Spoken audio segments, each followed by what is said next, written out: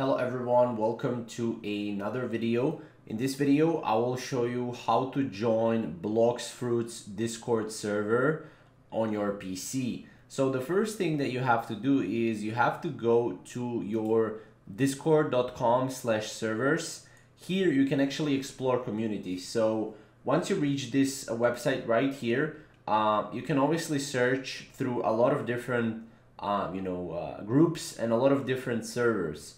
But what we're looking for here is Blox fruit. So we can go here and type in Blox Fruits and hit enter, right?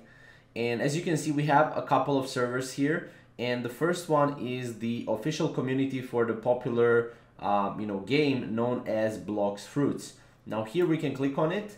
And as you can see here, we can basically join the server.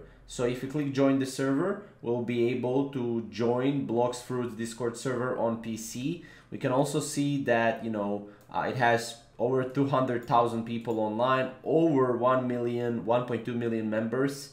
And it also has a YouTube channel, uh, Twitter and TikTok. So that's basically it. You just join the server and, uh, you know, that's how you can go and join Fruits Discord server on PC. Now, if you want to do this on mobile, it's pretty much the same. Just go to the discord.com slash servers slash and then Blox Fruits. Or you can go discord.com slash servers and then just try and search for Blox Fruits. So that's pretty much it. If you have any questions or comments, comment down below and we'll see you in the next video.